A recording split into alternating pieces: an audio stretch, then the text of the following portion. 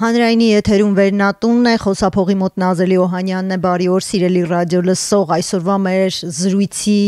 թեման աքսորն է, աքսորը գրականության մեջ, ինչ է իրենից ներկայացնում աքսորը գրականության մեջ, ինչպես է անդրադառնում ֆիզիկական աքսորը ներաշխարի, աշխարհայացքի ու նաև ինքնության վրա։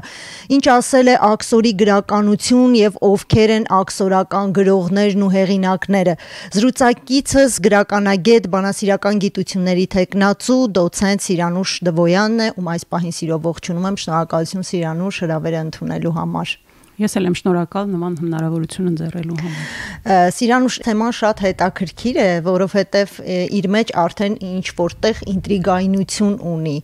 Որպես հետազոտող, երբ սկսես ձեզ հետաքրքրել աքսորի գրականությունը եւ ինչու։ Աքսորի գրականությունը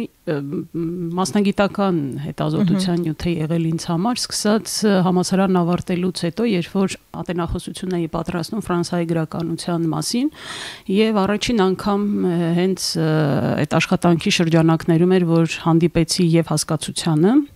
աքսորի գրականություն եւ նաեւ առիթ ունենա ունեցա մտածելու թե ինչ է իրենից ներկայացնում աքսորի գրականությունը մյուս փուլը որ ուրեմն այս շրջանը կապված էր սփյուռքի գրականության հետ եւ մյուս փուլը մի քիչ ավելի ուշ մոտավորապես մի 4-5 տարի առաջ սկսվեց երբ որ հանկարծ հայտնաբերեցի որ աքսորի գրականության մասին կարող ենք խոսել ոչ միայն սփյուռքահայ գրականության պարագայում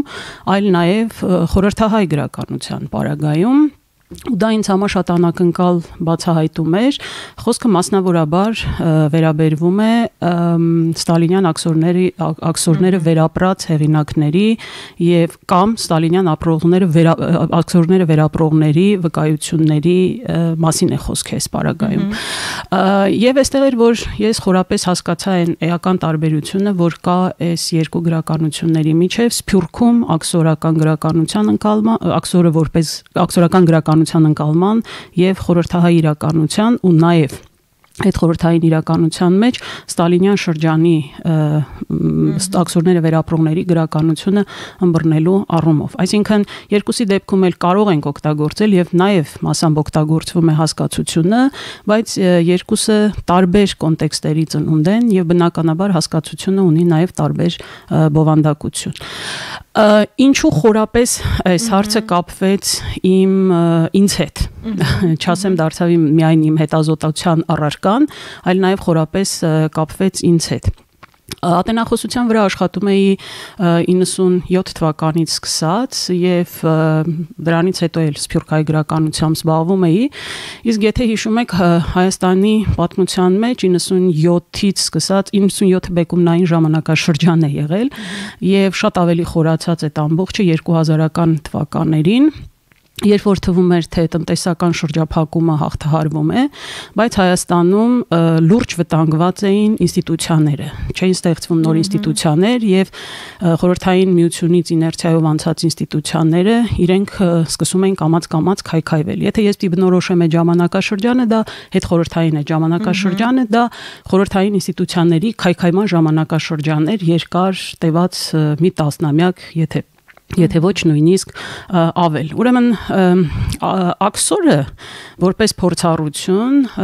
եթե պիտի փորձեմ սահմանել, դա հայրենազրկության, հողազրկության հաստատություններից զրկվելու փորձառությունն է։ Եվ այդ պայմաններում ապրելու եւ կյանք հնարավոր դարձնելու մյուս կողմից, հա։ Եթե այս տեսանկյունից ենք նայում, հասկանալի է լինում թե անձամբ եւ անձնապես ինչու ես պիտի հետաքրքրված լինեի այս փորձառությամբ եւ դա նաեւ ոնց էր կապվում իմ անձնական փորձառության հետ հենց 97-ից սկսած ամբողջ 2000-ականներին, որովհետեւ ըստ իս 2000-ականները ինչպես ասացի, այս շրջանն էր Հայաստանի կյանքում։ Փաստորեն դուք նաև հետազոտել եք, դիտարկել եք ամբողջ հայոց պատմությունը, նաև գրականությունը, որի այսպես աղբյուրները կամ որի հիմքը եղել է հենց անցյալում, մեր անցյալում, այսինքն այսօրվա մեր ապրած կյանքը նաև անցյալի արդյունք է ինչ որտեղ ըստ ձեր հետազոտությունների, որքանով որ ես հասկացա։ Այսինքն աքսորը ուղղակիորեն ազդեցություն է թողել նաև մեր ինքնության վրա Գիտեք, երբ որ հետազոտում եք հարցեր, որոնք որ ինչպես ասեցի, մեր առօրյայի իմ առօրյայի հետ են կապված, բայց նաև պատմության, կարող ենք դա կոչել ոչ վաղ պատմություն, եթե մի 60-70 տարի առաջվա պատմությունը ոչ վաղ պատմություն ենք համարում։ Ամեն դեպքում ես բարբերաբար առիթ էի ունենում մտածելու, որ կարծեք թե այս հարցը կամ այս փորձառությունը նոր չի, ոչ միայն մեզանում, աշխարհում էլ առհասարակ եւ Մյուս հարցը որպես հետազոտող որ ունեի, որ չփակվենք նրա մեջ, որ բացառիկացնենք այս փորձառությունը որպես զուտ հայկական փորձառություն, կապելով դա կամ ցեղասպանության կամ հետ ցեղասպանական իրականության հետ կամ հետ ստալինյան իրականության հետ, որովհետև այս հարցը բավականին լուրջ հարց է եւ երբ որ նայում էի թե ասենք ինչ process-ներ են տեղի ունեցել աշխարհում հենց այս հարցի ընկալման հետ մասնավորաբար ասենք երկրորդ համաշխարհային պատերազմից հետո առաջացած իրադրությունը թույլ էր տալիս եւ ինքը ստեղծել էր նաեւ այդպիսի գրականություն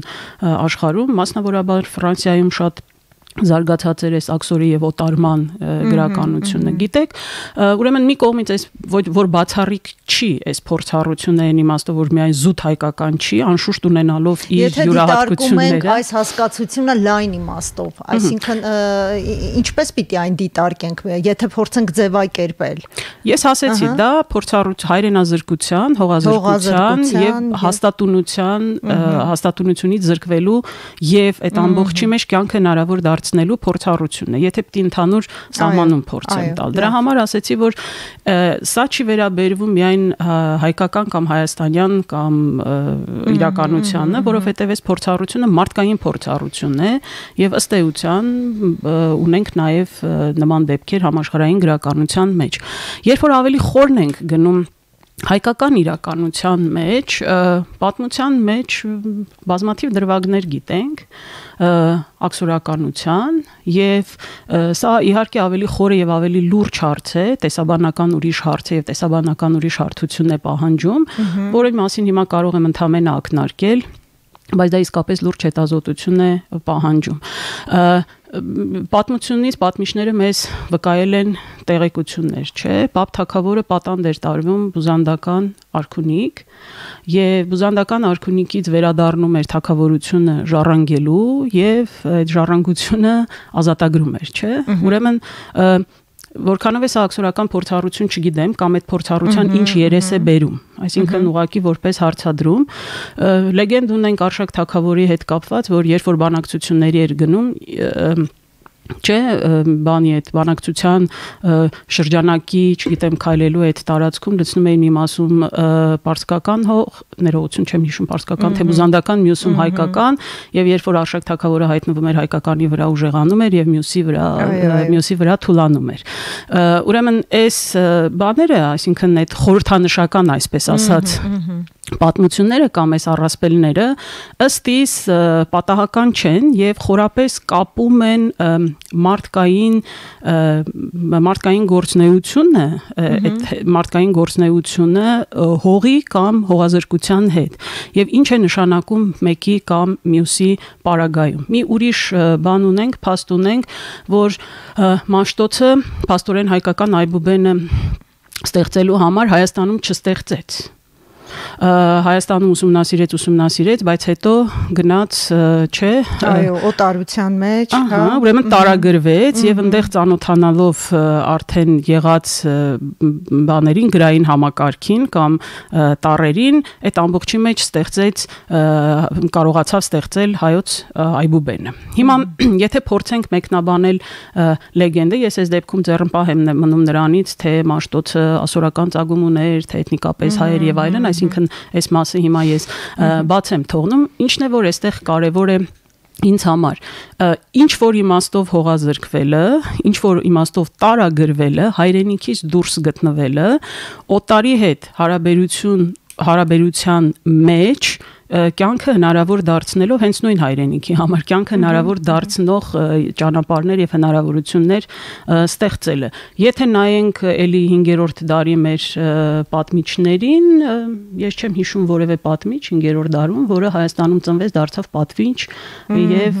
պատմագրություն ստեղծեցին։ Բայց նույնը կարող ենք ասել նաեւ այլ ժողովուրդների հետ, այսինքն դա բոլոր ժողովուրդներին բնորոշ է տեղափոխությունները, միգրացիաները, այսպես ասած, աքսորներ միգրացիաները մեծ, փոքր։ Ես այս դեպքում ուղղակի կուզենայի, որ միգրացիաները, տեղափոխությունները, տեղահանությունները ընդհանուր այո ընդհանրություններ ունեն, բայց ելի չտարվենք դրանով, որ տենց ընդհանրացնենք, որ այո բոլորին բնորոշ են, այո բոլորին բնորոշ են, բայց այս դեպքում ինձ հետաքրքրում է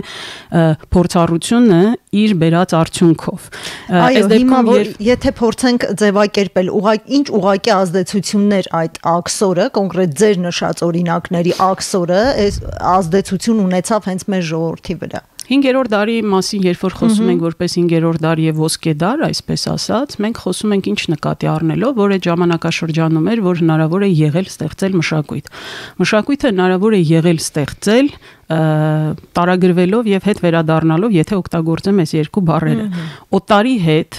հարաբերության մեջ։ Այսինքն եւ ֆիզիկապես եւ հոգեպես ինքդ քեզնից հեռանալու պայմանում միայն կարող ենք ինչ որ բան ստեղծել մենք։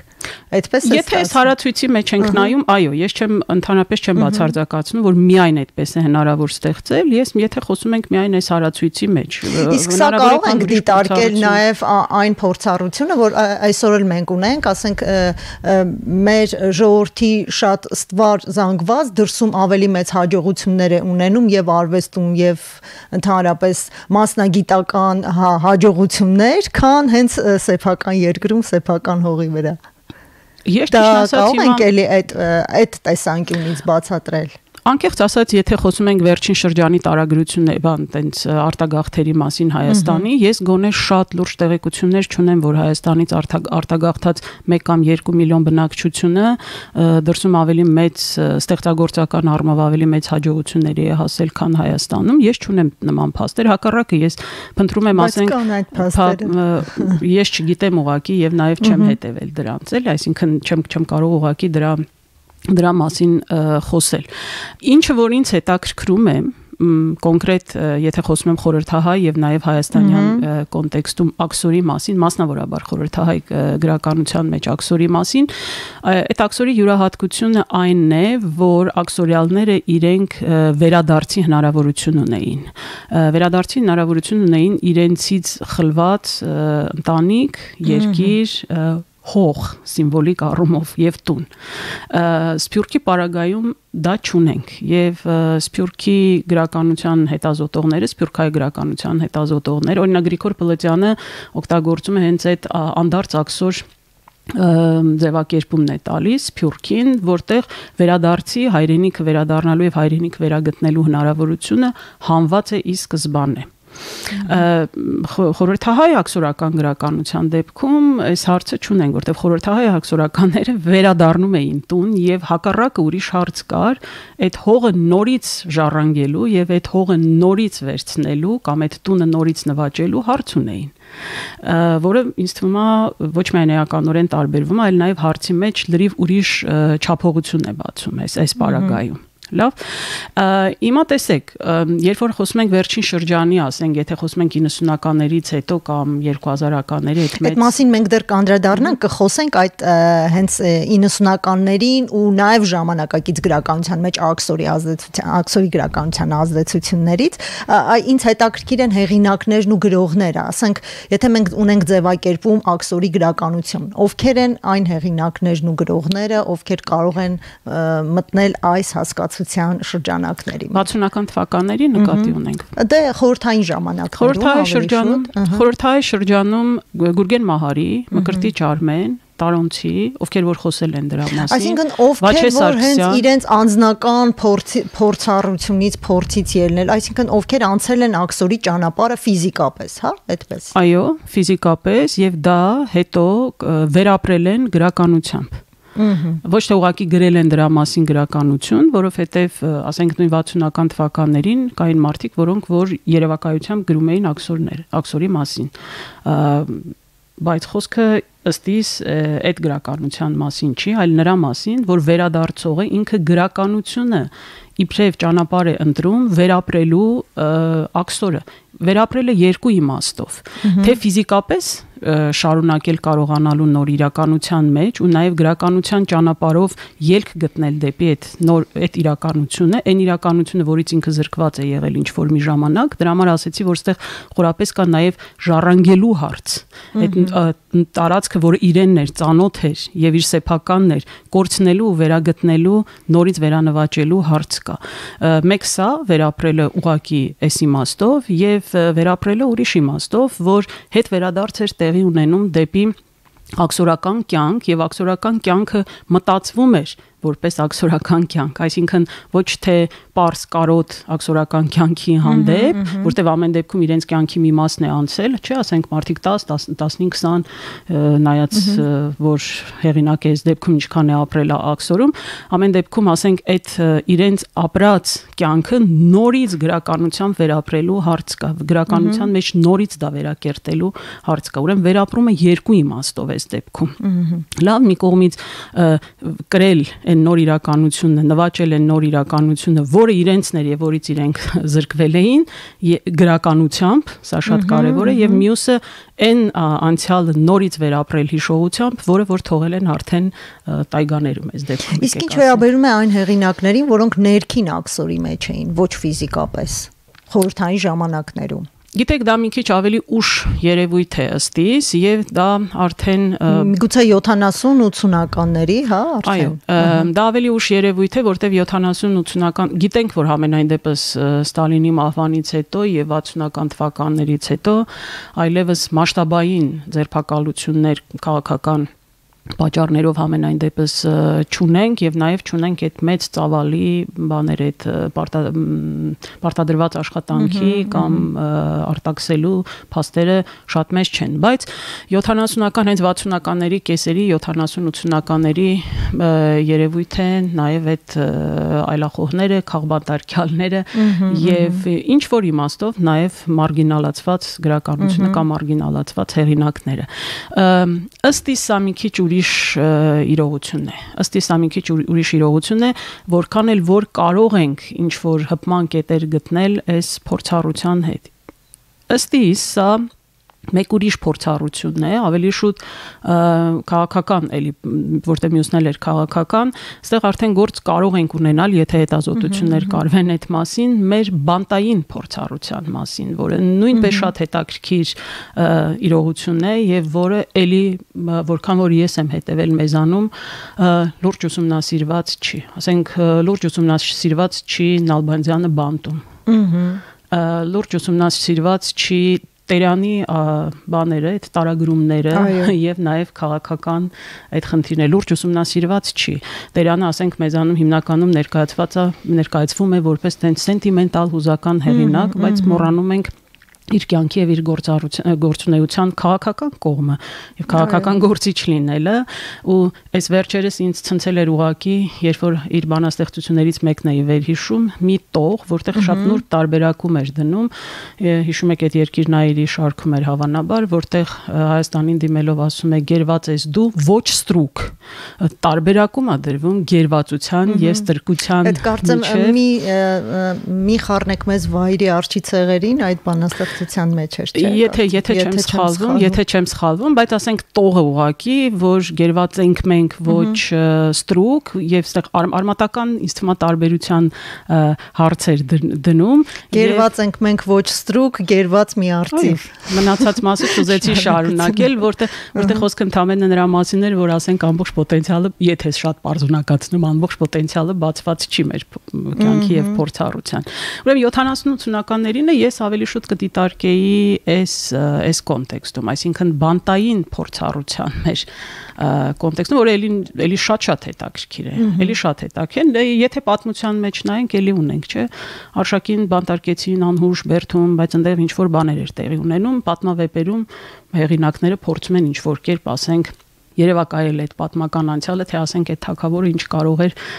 ապրել բանտում։ Բայց դրա կողքին ունենք ժամանակակից փորձառություն, որը կարելի է ուսումնասիրել հենց այդ կտրվածքով։ Ես անկեղծորեն չգիտեմ ինչ ունենք խորհրդահայ իրականության մեջ,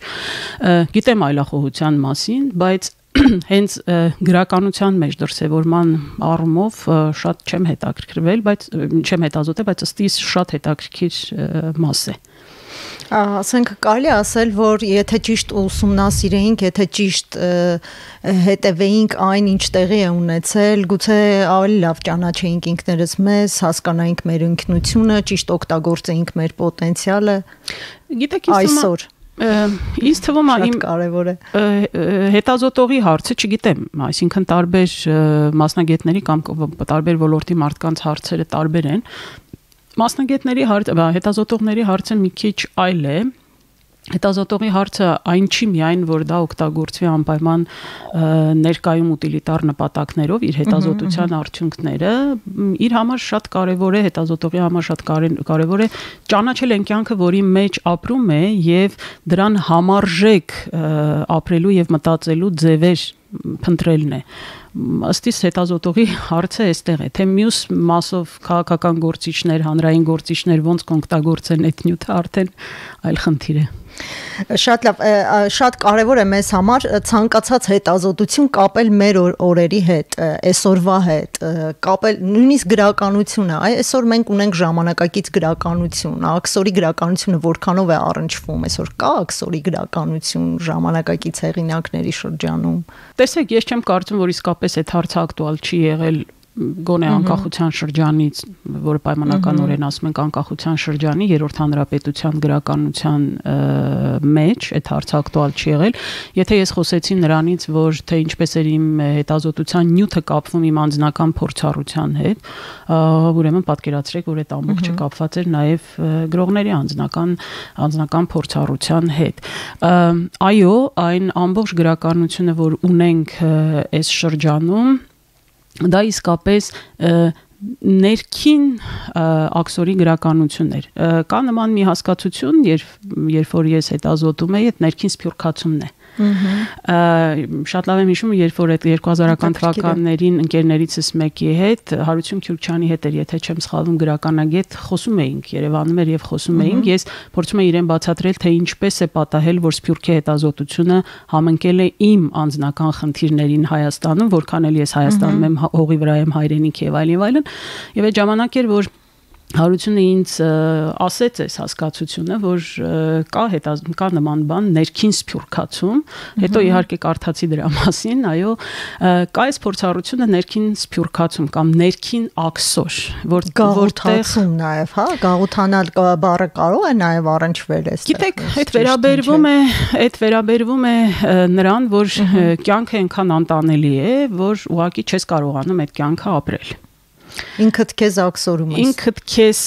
հանում ես այդ կյանքից կամ ինքդ քեզ աքսորում ես, բայց եթե իմ փորձառությանը նայեմ, իմ դեպքում շատ կարևոր է եղել նաև վերադարձը դեպի այդ իրականություն, որովհետև ինձ համար իսկապես խնդիր է եղել, որ արդյոք այն ինչ որ իմն է, որտեղ ծնվել եմ, ի վերջո մեծացել եմ եւ այլն կապված եմ ինչ որ կապերով այդ իրականության հետ, արդյոք ես պիտի հանձնեմ այդ ամբողջ իրականությունը առանց որևէ բան անելու։ Այդ նշանակում է նաեւ ինքս հանձնվեմ։ Եվ իմ համար շատ լուրջ հարց է եղել դա չանել։ Եթե նայում ենք 2010-ականների մեր իրականությանը, ըստ իս մի տենց բան սկսվեց, որը նաև հանրային շարժումների տարավ, չէ, փոխելու մեր կյանքի այն օրենքները կամ պայմանները, որի մեջ որ մենք ապրում էինք։ Ու շատ լավ գիտենք, որ գրողների ժամանակակից գրողների ահագին մաս ներգրաված էին հենց քաղաքացիական շարժումներում եւ շատ ակտիվ էին։ Հիմա սա կարող ենք դիտարկել այս կոնտեքստում, թե չենք կարող դիտարկել։ Այո, այդ գրողները ծնվել էին Հայաստանում, ապրում էին Հայաստանում, բայց Հայաստանը իրենց հայրենիքը կամ իրենց իրենց երկիրը չէր մեծ հաշվով այն քաղաքական պայմանները, տնտեսական պայմանները, որոնց մեջ ապրում էին, իրենց երկիրը չէր։ Բասոյին կարելի ասել, որ մտավորականների մի շրջանակ աքսորի մեջ էր այս տարիների ընթացքում։ Ինչև հեղափոխությունը կարելի է այսպես ասել։ Գիտեք, տենց կարող ենք ընդհանրացնել, կարող ենք տենց ընդհանրացնել։ Մի մաս ուղակի հեռացան Հայաստանից, իմ շատ լավ բարեկամ Վահագն Գրիգորյանը ուղակի հեռացավ Հայաստանից, նաև այնտեղ ընտանեկան հարցեր կային, բայց ամեն դեպքում վերած վերա հեռացավ Հայաստանից, բայց ինքը Հայաստանի հետ ներքին կապը պահել էր եւ անընդհատ այսինքն այդ հերավորության մեջ գրում էր, այս չի խնդիրը։ Հիմա գրողները իրենք ոնց են, օրինակ ինձ համար սա շատ լուրջ հարց է, այլևս հետ հեղափոխական իրականության մեջ, որովհետեւ Եթե քաղաքացիական շարժումներով փորձ էր արվում կամ ջանքեր գործադրվում փոխել այդ իրականությունը հենց ռեալ, հա, այսինքն քաղաքական առումով ինչպես է դրան արձագանքելու, այսպես ասած, հետհեղափոխական իրադրության մեջ գրականությունը։ Գրականությունը ինքը գիտակցելու է իր ավանդույթը, գրականության ավանդույթը եւ ժառանգելու է այդ ավանդույթը թե ոչ, այս ինձ համար շատ լուրջ խնդիր է, որովհետեւ եթե 2000-ականներին, 10-ականներին երբեմն ես ասենք կարող էի մտածել, ասենք կոպիտ եթե ասեմ, ասենք մեր գրականությունը մի քիչ շատ է մեկուսացած աշխարհից, բայց ես գիտեի, որ դա ունի իր ռեալ հիմքերը, քաղաքական պայմաններն է, պայմաններն է եւ նաեւ տնտեսական պայմաններն են, որ ստեղծում էին տենց ներողություն ասած տնաբույց գիտություն, տնաբույց արվեստ, տնաբույց գրականություն Ոնց է հետ հեղափոխական իրադրության մեջ մեր գրականությունը ոչ միայն գրողները, այլ նաև գրական քաղաքականությունները կամ արվեստի քաղաքականությունները արձագանքելու, արձագանքելու սրան։ Տեսեք, ինչու ինչու է սա ինձ համար հետաքրքիր, որտեվ ասենք նույն 60-ականներին մասին երբ որ խոսում ենք 60-ականներին նաև քաղաքական նախաձեռնություն է եղել այդ գրականության հնարավորություն տալ ստեղծվելու այսինքն այդ վերադարձի աքսորները գրելու փորձառությունը կարճ է տևել իհարկե մի 5 տարի, բայց ամեն դեպքում դա քաղաքական նախաձեռնությունն է եղել եւ նաեւ պայմաններ ու հնարավորություններ են ստեղծվել ինչ որ իմաստով դրա համար։ Ես դրա համար եմ ասում, թե ասենք ինձ համար մեծ հարց է տեսնել արդյոք ոնց է գնում այս ամբողջը եւ արդյոք այո այդ վերա վերարժևորումը կամ վերագնահատումը մեր կյանքի եւ այդ իմաստով նաեւ գրական ավանդույթը ժառանգելու հարցերը արդյոք դառնալու են օրախնդիր ժամանակակից գրող ընկերների համար թե ոչ ես առայժմ մեծ տենդենց չեմ տեսնում այդ ուղությամբ գոնե վերջին 1.5 2 տարվա ընթացքում ինչ որ հասցրել եմ հետևել Պաստորին այդ աքսորը դեռ լիարժեք չի եղել, որpիսի դրսևորվի գրականության մեջ, հա։ Գիտեք, կարող է ես ես կարող եմ մտածել, որ կարող է ուրիշ փորձառություն է, բացարձակ նոր փորձառություն, որին պիտի պատրաստ լինենք ընդունելու, որը պիտի պատրաստ լինենք ընդունելու եւ նաեւ որը պիտի պատրաստ լինենք մտածելու հենց իր բերած հնարավորություններով եւ իր բերած ձևերով։ Դրա համար ես հիմա կզգուշանամ գնահատական տալուց, քանի դեռ չունենք հետագա ամբողջ ընթացք Սրանց մենք ունենք շատ սահմանափակ ժամանակ, կարող ենք շատ կարճ բացատրել, ասել, թե ինչու հենց այսօր շրջանառվեց աքսորի գրականություն այս հասկացությունը եւ արդյոք նախկինում հետազոտությունների ուշադրությունից վրիպել է այս թեման կամ ընդհանրապես այս արտահայտությունը աքսորի հետ կապված այսինքն գրականությունը կապել աքսորի հետ Չէ, այս այս հարցը 60 70-ական 80-ական թվականներից սկսած Սփյուռքահայ տեսաբանությունը արդեն ունի այս հասկացությունը։ Սփյուռքահայ չէ։ Եվ գործածում է։ Մեզանում, մեզանում, այո մեզանում խորհրդահայ իրականության մեջ ուղակի աքսորի գրականություն ձևակերպում ես հիմա դժվարանում եմ հիշել խոսքը ավելի շուտ վերադառնում էր վերաբերվում էր ստալինյան աքսորներից վերադարձածների գրականությանը որը չէր չէր ձևակերպվում որպես աքսորական գրականություն չէր ձևակերպվում որպես աքսորի կամ աքսորական գրականություն որքան էլ որ իմ գրականագետ ընկերներից ոմանք ասում էին բա մենք գիտեինք որ աքսորական գրականություն գրականություն ոչ թե Սփյուռքի գրականությանն է վերաբերվում, այլ ստալինյան աքսորների, անկեղծորեն ինքս այդ ձևակերպմանը չեմ հանդիպել, գուցե ինչ որ մի տեղում կա, որ ուղակի իմ ուշադրությունից է վրիպել։ Հիմա Հայաստանում նույնպես չի շրջանառվում շատ եւ այդ հարցը շատ ակտուալ չի գիտական եւ հետազոտական շրջանակներում, ինձ մոտ ասացի ուղակի դա կապված էր կոնկրետ նախագծի հետ, դա Վաչե Սարգսյանի Ակերդամա վեպի Հայաստանում հրատարակության նախագիծն էր եւ դրա շրջանակներում էր, որ ես այս հարցին առնչվել եմ։ Շնորհակալություն Սիրանուշ, ինձ հուշում են, որ մեր հաղորդումը արդեն ավարտվում է ու թերևս ես կուզեի ամփոփելով մեր զրույցը վերջնական մի եզրահանգման գանք, որ արդյոք այսօր մենք եթե հետազոտում ենք աքսորի գրականությունը, դա բերելու է ինքներս մեզ ավելի ճիշտ ճանաչելու, ինքնությունը ճանաչելու, մեր այսօրը ավելի վերագնահատելու։ Գիտեք ինձ Այո, ինձ թվում է, որ սա շատ խորքային հարց է, ոչ թե միայն աքսորը, այլ այս տնազրկություն, հողազրկություն, եթե ավելի խորացնեմ ծնողազրկություն, որը որփությունն է եւ այլն, այս շատ խորը հարց է մեզանում, որովհետեւ մեր պատմական իրականությունը եւ մեր ամբողջ պատմությունը կարծես սրանից օտարված չի, մեր պատմական փորձառությունը սա է։ Ու սա կարոտ է լրջագույն հետազոտության։ Շատ լավ, շնորհակալություն զրուցակիցս գրականագետ բանասիրական գիտությունների տեխնացու դոցենտ Սիրանուշ Դվոյանն էր, զրույցը վարեց Նազելի Օհանյանը, ինչ հանդիպում։